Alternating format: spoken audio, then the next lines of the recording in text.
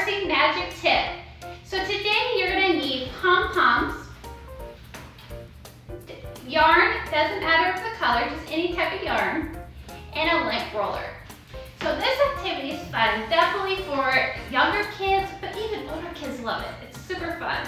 So here you can have just, it could just be a fun activity you could do here, and just have the kids pick up the yarn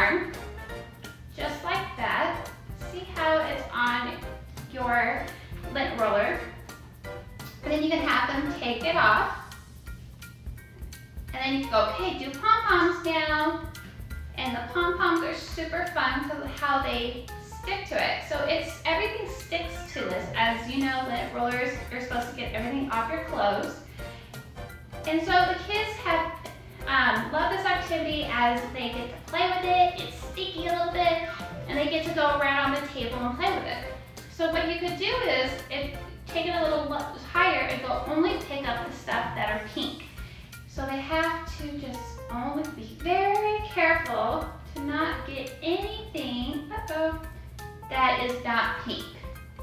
So see how that's all pink? They did a great job. So cheer them on, give them things, tell them to take it off, and then give them a different activity. And now only things that are black. So they have to, mm, find it.